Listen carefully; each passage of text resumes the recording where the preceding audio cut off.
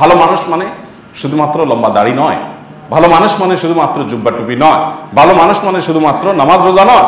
এগুলো ভালো মানুষের অনেক গুরুত্বপূর্ণ নিদর্শন হলেও ভালো মানুষের অন্যতম প্রধান নিদর্শন হলো ভালো মানুষ সৎ হবেন তার কর্মে, তার কথায়, তার কাজে, তার বিশ্বাসে, তার আচরণে। তার ভিতরে নীতিনৈতিকতা থাকবে, তার ভিতরে শৃঙ্খলা বোধ থাকবে। আমাদের লজ্জা হয় যখন পৃথিবীর অন্যান্য দেশের দিকে তাকাই। অমুসলিম প্রধান দেশগুলোতে মানুষ সিরিয়াল মেনটেন করে দাঁড়িয়ে থাকে। কেউ এদিক সেদিক যায় না। জাপানের টোকিওতে একবার, কোন এক জায়গা থেকে টোকিওতে আসছিলাম একটা ট্রেনে করে আমি। আমার সাথে একজন বাংলাদেশি ভাই, সাইদ ভাই, উনি ছিলেন। টিকিট পাঞ্চ করে তারপর বের হতে হয়, স্বাভাবিকভাবে। তো ওনার টিকিটটা উনি হারাই ফেলছেন সামহাও আমারটা আছে। তো এখন যেখানে পাঞ্চ করে বের হইতে হবে, ওখানে কোনো লোক পাহারা দেওয়ার মতো নাই। একটা বক্স আছে, ভিতরে লোকজন আছে। বাট কেউ এখানে দেখছে না, দাঁড়িয়ে দাঁড়িয়ে টিকিট ঠিক আছে কিনা। সবাই যার যার মতো পাঞ্চ করে করে বের হয়ে যাচ্ছে। তো একজনে পাঞ্চ করলে দুইজন, তিনজন বের হওয়া যাচ্ছে, এরকম। তো সাইদ ভাই ওখানে এসে দাঁড়ায় গেলেন যে, ওনার যেহেতু টিকিট হারাই গেছে, আমি সাথে ছিলাম। তিনি বলল, ভাই, তাহলে আমি একটু দায়িত্বরত অফিসারকে আছে, তার সাথে কথা বলি। আমি যে টিকিট কিনছি, তার এভিডেন্স আমার কাছে আছে, আমার অ্যাকাউন্ট থেকে টাকা কেটে নিয়ে গেছে এস এম এস আসছে, ওইটা দেখাবো তাকে। আমি অবাক হলাম যে সবাই চলে যাচ্ছে, উনি চলে যেতে পারে চাইলে, কিন্তু উনি দাঁড়ালেন, গেলেন, অফিসারের সাথে কথা বললেন, তাকে দেখালেন মেসেজ দেখায় তারপর বললেন যে, আমার তো এই যে আমি টিকিট কাটছি যে আমার অ্যাকাউন্ট থেকে টাকা কেটে নিয়েছি, এতটা, এত মিনিটে এই তারিখে এই যে সব আছে, তোমাদের অ্যাকাউন্টে টাকা গেছে বাট টিকিটটা আমি হারাই ফেলছি। তখন সে তাকে ওপেন করে দিছে, যাও তুমি। বাইরে আসার পরে আমি বললাম, ভাই, আপনারা এত বোকা শোকা, বাংলাদেশের মানুষ হলে এই জায়গায় কত আগে পারে চলে যেত? জাপানে থেকে কি লাভ হলো আপনার বলেন? আপনার তো বাঙালিদের কাছ থেকে শেখা উচিত এসব বিষয়গুলো। এখানে আপনি দশটা মিনিট সময় নষ্ট করলেন অযথা। বাঙালির কাছে সময়ের দাম কত জানেন? চট করে চলে যেত। আপনি তো চুরি করেন নাই তো? আপনি তো টিকিট কাটা আছে। মিথ্যা বলেন নাই তো?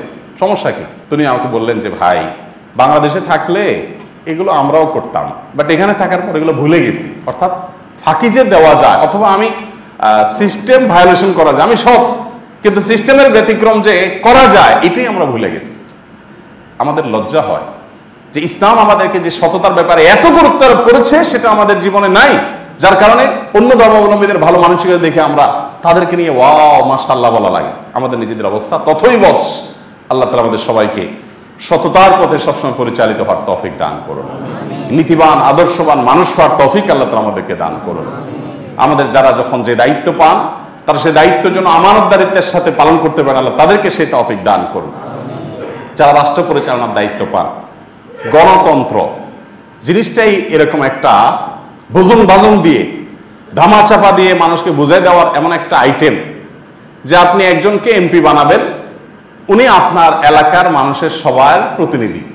উনি যাইয়া ওই এলাকাতে চার লাখ, পাঁচ লাখ মানুষ যদি বসবাস করে, ওই পাঁচ লাখ মানুষের তরফ থেকে যা বলবেন, ওটা পাঁচ লাখ মানুষের ভয়েস। আসলে কি পাঁচ লাখ মানুষের ভয়েস তার মুখ দিয়ে আসে? সম্ভব এটা? বেশিরভাগ ক্ষেত্রে বরং সংখ্যাগরিষ্ঠ মানুষের চিন্তা ভাবনা তার দ্বারায় প্রতিফলিত হয় না।